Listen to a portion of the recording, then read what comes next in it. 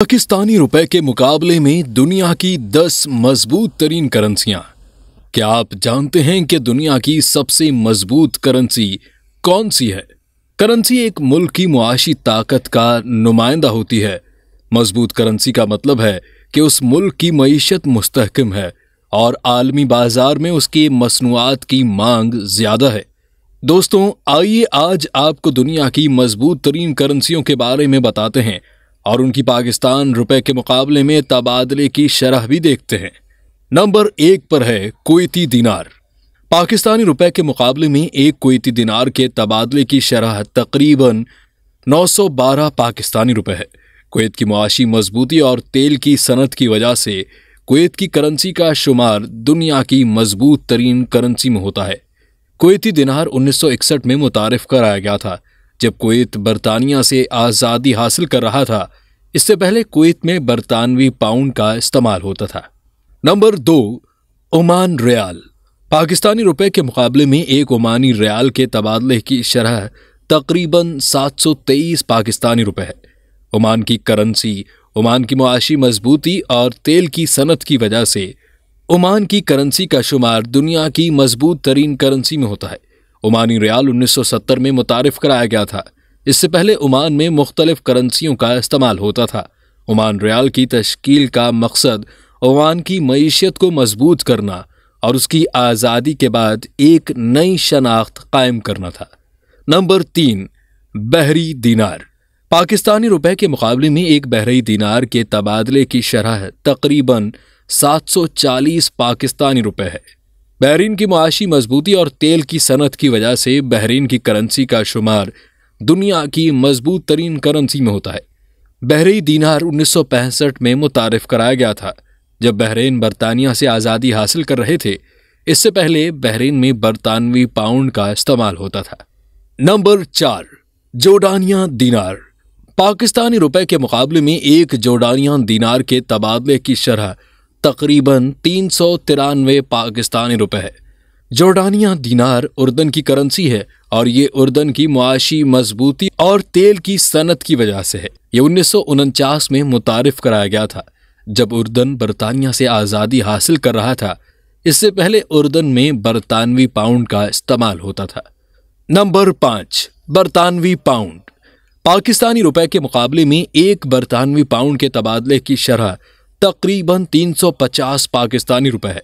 बरतानिया की करेंसी तारीखी तौर पर मज़बूत रही है और आलमी मालियाती मरकज लंदन की वजह से बहुत अहमियत रखती है। बरतानवी पाउंड सोलह में मुतारफ कराया गया था। उस वक्त एक पाउंड में 20 शेलिंग होते थे और हर शेलिंग में 12 पेंस होते थे। बरतानवी पाउंड की तारीख बहुत ही पुरानी और पेचीदा है और उसने बहुत सी तब्दीलियाँ देखी हैं। नंबर सात, यूरो। पाकिस्तानी रुपए के मुकाबले में एक यूरो के तबादले की शरह तकरीबन 315 पाकिस्तानी रुपए है। यूरो यूरोपीय यूनियन के 19 ममालिक की मुश्तरका करेंसी है और ये यूरोपीय मीशत की ताकत और सियासी इतिहाद की वजह से मज़बूत है। यूरो 1999 में मुतारफ कराया गया था, लेकिन उसे 2002 तक हकीकी तौर पर इस्तेमाल नहीं किया गया था। इससे पहले यूरोपीय ममालिक अपनी अपनी करेंसियों का इस्तेमाल करते थे। यूरो की तश्कील का मकसद यूरोपीय मीशत को मज़बूत करना और यूरोपीय ममालिक के दरमियान तजारत को आसान बनाना था। नंबर आठ, अमरीकी डॉलर। पाकिस्तानी रुपए के मुकाबले में एक अमरीकी डॉलर के तबादले की शरह तकरीबन दो सौ पिचासी पाकिस्तानी रुपए है। अमरीकी डॉलर दुनिया की सबसे ज़्यादा इस्तेमाल होने वाली करेंसी है। और आलमी तजारत और सरमाकारी में मरकजी किरदार अदा करती है। अमरीकी डॉलर अमरीकी मीशत की ताकत और सियासी इसकाम की वजह से मज़बूत है। अमरीकी डॉलर सत्रह सौ बानवे में मुतारफ कराया गया था। उस वक्त एक डॉलर में सौ सेंट्स होते थे। उस वक्त तक रियासतों ने मुख्तलिफ़ करेंसियों का इस्तेमाल किया था। अठारह सौ तिरसठ में अमरीकी हुकूमत ने ग्रीन बुक नोट जारी किए, जो पहली कागज़ी करेंसी थी। 1913 में फेडरल रिज़र्व सिस्टम कायम किया गया, जिसने अमरीकी डॉलर की कीमत को कंट्रोल करना शुरू किया। इसके बाद आते हैं स्विस फ्रानिक। पाकिस्तानी रुपए के मुकाबले में एक स्विस फ्रानिक का तबादले की शरह तकरीबन 290 पाकिस्तानी रुपए है। स्विस फ्रैनिक स्विट्जरलैंड की करेंसी है और ये स्विट्ज़रलैंड के सियासी इस्तेकाम, इकतसादी, मजबूती और बैंकारी निज़ाम की वजह से मज़बूत है। स्विस फ्रैनिक 1850 में मुतारफ कराया गया था। इससे पहले स्विट्ज़रलैंड में मुख्तलिफ़ छोटी हुकूमतों की अपनी अपनी करेंसियाँ थीं। स्विस फ्रैनिक की तश्कील का मकसद स्विट्ज़रलैंड की मीशत को मुतहद करना और उसकी ताकत को बढ़ाना था। इसके बाद है कैमियन आइलैंड डॉलर। पाकिस्तानी रुपए के मुकाबले में एक कैमियन आइलैंड डॉलर के तबादले की शरह तकरीबन 280 पाकिस्तानी रुपए है। कैमियन आइलैंड्स की करेंसी यहाँ के बैंकारी निज़ाम और टैक्स निज़ाम और माली खदमात की वजह से मज़बूत है। ये उन्नीस सौ बहत्तर में मुतारफ कराया गया था, जब केमियन आइलैंड्स बरतानिया से आज़ादी हासिल कर रहा था।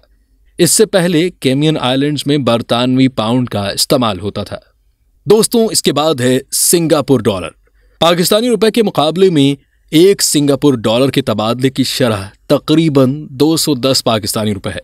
सिंगापुर की मज़बूत मीशत और तजारती मरकज होने की वजह से यहाँ की करेंसी मज़बूत है।